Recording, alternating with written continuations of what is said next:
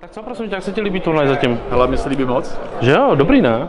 Jo, tak je to první takový testovací turnaj k konci tady tohoto roku, ale za pár měsíců, nebo za pár týdnů nám začne nový rok a chtěli bychom to tady ještě víc rozjet, takže... Já doufám, že Mara, to je úplně úžasná informace. Kromě, kromě FIFA budou snad i turnaje v NHLku, no. A srdečně vás vítáme, Paťa už v tom zase lítáme, není pomoci. Eh, Tleskneš mi, nebo mám tlesknout? Tlesknu. Krásné tlesknutí. Krásné Já tlesknutí. to taky občas musím tady se- tleskat, takže... To se ti povedlo, to bylo moc pěkné tlesknutí. Takže prosím tě, mám tady Ondře Kvardu. Ano. Říkám to dobře. Řek Varda. Já myslím, že lépe známe možná asi pod Lelek.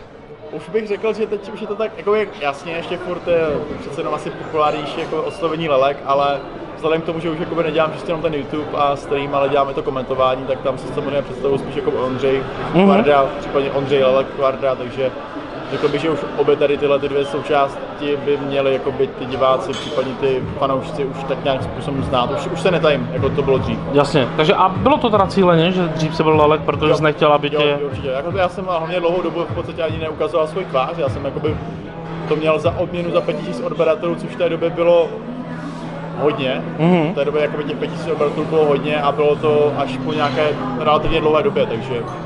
A jak jsi se teda dostal na YouTube? To je úplně základní otázka vždycky. Proč? je- Co tě napadlo? Ale proč? Já jsem kamaráda, který natáčel Minecraft a já jsem v té době, nebo furt jsem měl vždycky rád Diablo 2 Mhm. a bylo to vlastně jakoby necelý rok před vydáním trojky. To vycházela v květnu a já jsem vlastně od února února natáčel zhruba, takže vlastně pár měsíců, ne celý rok, ale jakoby pár měsíců.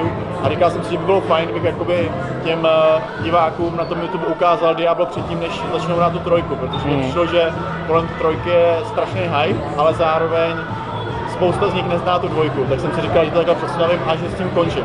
Hmm. Takže udělám jenom tohle a skončím jako s tím YouTubem, že to bude čistě jenom taková jako úzkovna tady tohle materiálu. Mhm. Ale nějakým způsobem mě to začalo bavit a ještě než jsem dohrál Diablo 2, tak jsem roztočil další série, měl jsem tam Battlefield, Mhm. měl jsem tam v té době možná už NHL, to si nejsem jistý, to možná bylo ještě trošku později. Jasně.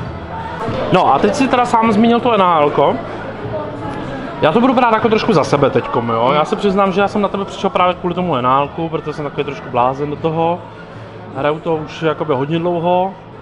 Zažil jsem 94 dokonce, tak To jsme se dneska už bavili, že já to ne. jsme se bavili, ano, že ty ještě ne, ale tak čím jsi začal teda? Kterým NHLkem? Ale jako A, já si... a jenom jestli můžu doplnit tu otázku, jakoby co tě, co tě jako fakt chytlo, že zrovna NHL, protože právě, když sám si říkal Minecraftáci spíš, Ale jakoby matně si vybavuju radši trojku, ale já když jsem byl menší nebo mladší, tak já jsem v podstatě jakoby hry a počítač vůbec neřešil, protože já jsem dělal sportovní šerm a, a ten mě jakoby relativně dost, jakoby řekněme, zabavil na všechny ty odpoledne kromě školy a tím pádem já jsem se k tomu dostal strašně pomalu a už když jsem se k tomu dostal, tak já jsem měl celkem striktní jakoby v tomhle třeba přístup od rodičů, takže jsem mohl třeba uh, hodinu denně a hodinu jenom o víkendu nebo dvě hodiny o víkendu, vždycky sobota, hodina, neděle, Hmm. neděle. Takže takové, ale jakoby takhle, já to jakoby beru, beru takhle zpětně jakoby dobře, protože jsem v podstatě jakoby aspoň nevyrůstal u toho počítače jako dnes.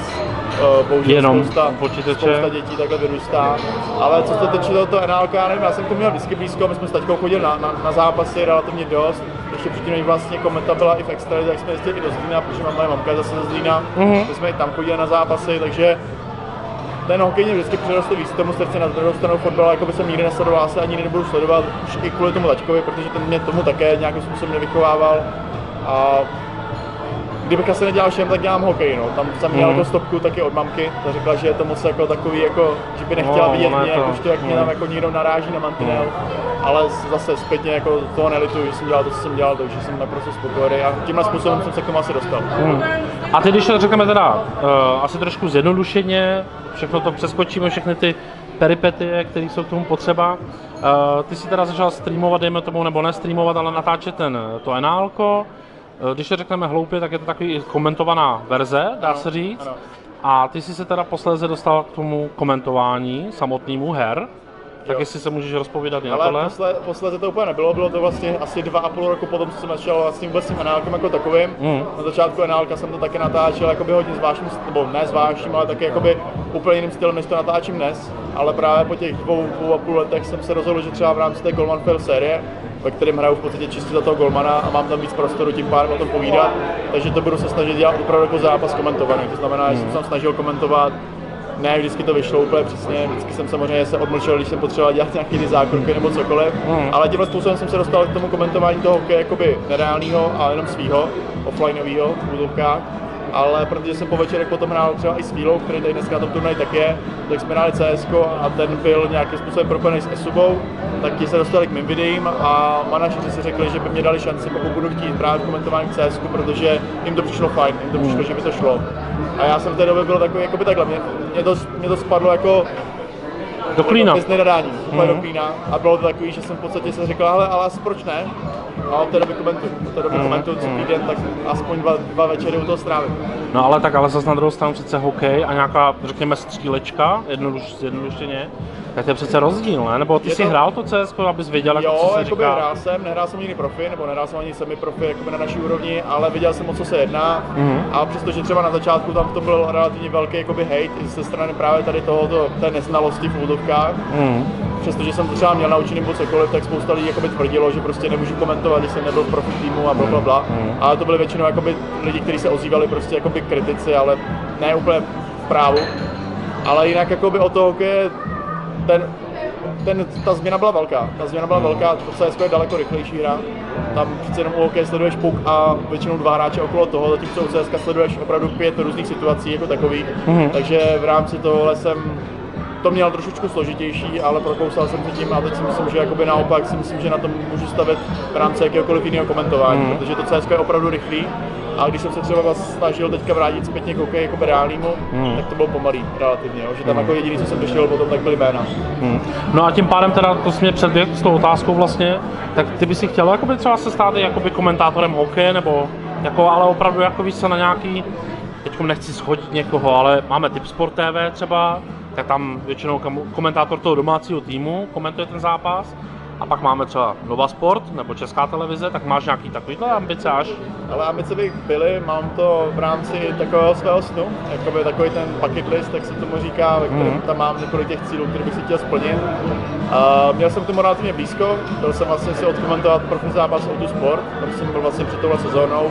Tam mi to nakonec teda úplně nevyšlo, a jak si potom máme mluvil o typ sport, a také ještě třeba hokejka a podobně tady tyhle Mhm, stránky, mhm. tam jsem měl taky nějakým způsobem jakoby rozjedenou tu spolupráci, jakoby v rámci toho komentování tam to taky nedopadlo, takže ne, ne, že bych to úplně odsunul, nebo ne, že bych to zavrhnul, ale Mhm. spíš to odsouvám jakoby na pozdější jakoby stádium, protože ve většině případů to tak jako trošku vyznělo, jako, že prostě tam jim prostě nezapadá ten malý komentátor, že ještě Mhm. furt jakoby to chce, řekněme prostě jakoby doz, Jasně, no. dozrát, Dozrát, asi, mhm, mhm. ale je to v pohodě, protože teď v rámci toho, v rámci toho CSK to mám opravdu dost, Hmm, hmm. chystáme nový projekty, které ještě teď ani nemůžu v podstatě otajnit, ale, Jasně. ale je to spousta, takže jsem na to asi, nechci říct rád, ale nejsem z toho zklamaný. Beru to Hmm, jakoby tak, že prostě jako neřekli mi čistě ne. Nezahodil tím to. pádem, přesně tak, tím Hmm. pádem se k tomu někdy vrátím. Určitě Jasně, se k tomu někdy vrátím a určitě teda, abych teda odpověděl přímo na tu tvoji otázku. Ano, chci někdy i komentovat Hmm, hmm. hokej jako takový. No a teď jsme tady teda v Zetku, to jste možná poznali, za náma jsou Xboxy eh, a probíhá tady turnaj, dokonce konkrétně tady já ukážu takhle s prostě prstem tady, ono to není moc vidět, takže ještě malinko natočíme, tak tady probíhá finále a vedle o třetí místo. Eh, Pojďme si říct, jak si dopadl ty na tom turnaji nejdřív. Já jsem dopadl tak nějak podle mého očekávání, popravdě. jo, Asi jo, protože já jakoby teďka v poslední době jsem opravdu trávil jakoby většinu svých večerů u toho CSK, u toho komentování jako takového, jak Mhm. v podstatě dneska je, dneska je 9. prosince a já jsem v podstatě od 1. prosince každý večer strávil u CSK, takže Hmm. nebyly komento, nebylo, nebylo, nebylo streamování, nebylo natáčení téměř žádný a tím pádem v podstatě jsem to neměl v ruce. Takže dneska jsem si po 14 dny zahrál s Fílou první zápas, ten jsem ještě zvládl, ale potom jsem uh, už nastoupil do turnaje jako takovýho. Hmm. Ale na druhou stranu týpek, který porazil, a porazil mě teda tak je ve finále. týpek, který mě porazil a porazil mě tady o dost gólů, tak uh, je teďka právě v tuhle chvíli ve finále hraje perfektně, takže Mluvme normálně čísly, prostě 10-2 to bylo. v dvou zápasech, aby jsme to jako Ano, ano.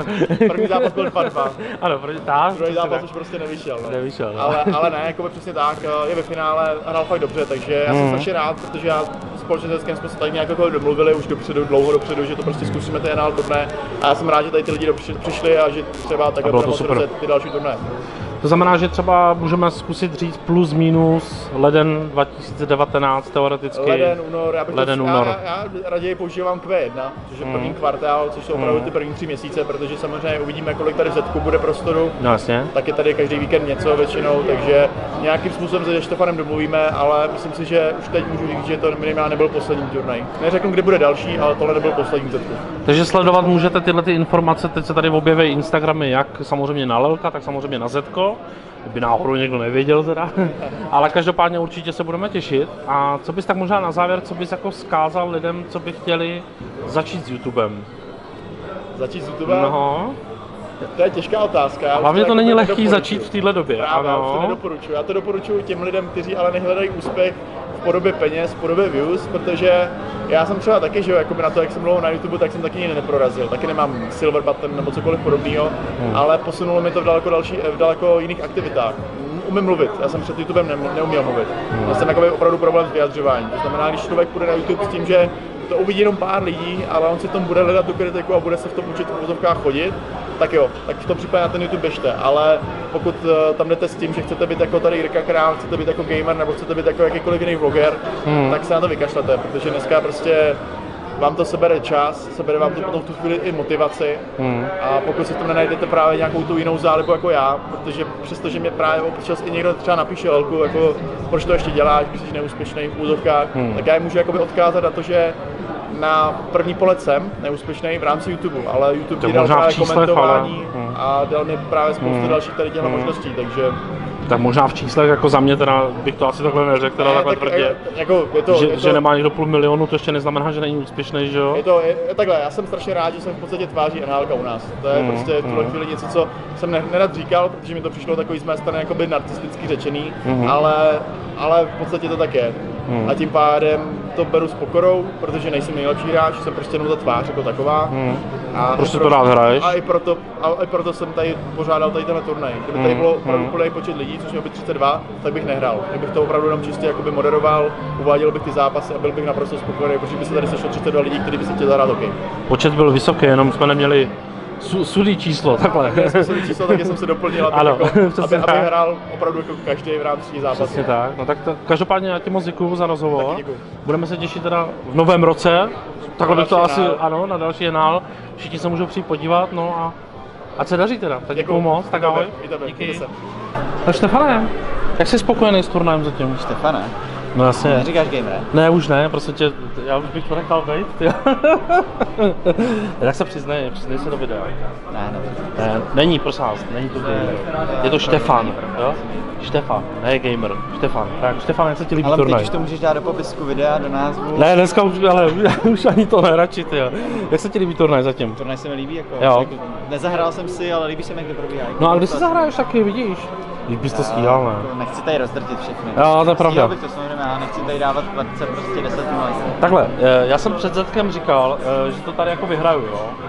Tak kdyby se někdo ptal, tak, neře, Tak, tak, myslel třeba příští turnaj. příští turnaj, ano, já jsem se přišel dneska rozehrát a příště to vyhraju. Takže spokojený. Já jsem spokojený. Super.